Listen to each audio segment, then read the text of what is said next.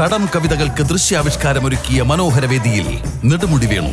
കടലോളം കടം കഥകൾ കയ്യിലുള്ളത് ചൊല്ലാം. കാത്തിരുന്നു കാണുക.